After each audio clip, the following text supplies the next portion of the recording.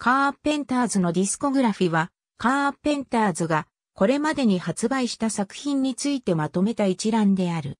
ハットは1972年のチャートポジション、ハットは1975年のチャートポジション、タイはチャート入りしなかったことを表す。カーペンターズの公式ライブアルバムは少なく、アメリカ本国においては発売さえしていないが、1974年に日本でライブインジャパンを、また1976年にイギリスでライブインロンドンをそれぞれ一作ずつ発売している。これらのコンサートの映像は DVD などで公式に発売されてはいないが、日本でのみ1974年5月31日武道館での未発表コンサートが Live in Japan、Yesterday Once More 武道館1974として発売されている。また、イギリスでは1971年のカーペンターズライブアットザ BBC と題されたスタジオコンサートやザ・カーペンターズライブアットザ・ニューロンドンシアターという題のライブコンサートなどがテレビ放送された。カーペンターズ名義のクリスマスアルバムはカレンの存命時とカレンの没後に1枚ずつリリースされ、1996年には両方の作品を抱き合わせた2枚組 CD、クリスマスコレクションが日本でリリースされた。カレンが1983年2月4日に要請した後、リチャードはソロ活動を開始したが、反応はそれほど熱のこもったものではなかった。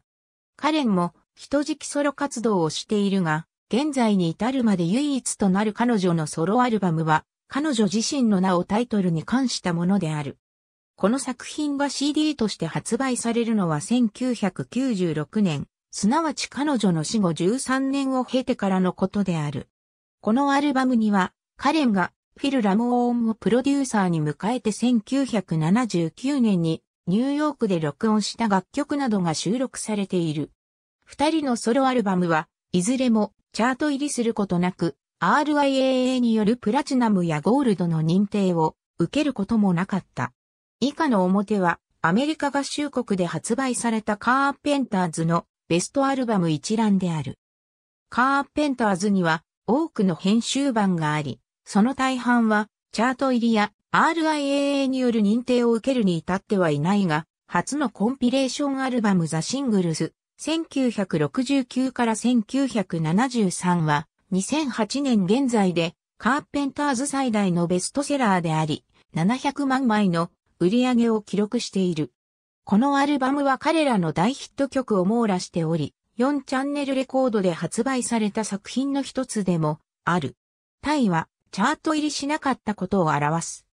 はその国ではリリースされなかったことを表す2008年現在、カーペンターズは2本のミュージックビデオ DVD と MPI ホームビデオ社からリリースされたドキュメンタリー DVD1 本を発表している。リチャード・カーペンターはこれ以上の映像作品を DVD でリリースするつもりはないと語っている。リチャードとカレンは一本の映画全体のためのサウンドトラックこそ制作していないが、映画に主題歌を提供したり、映画の主題歌ないし、クライマックスシーンでの挿入歌をカバーしたりしている。ありがとうございます。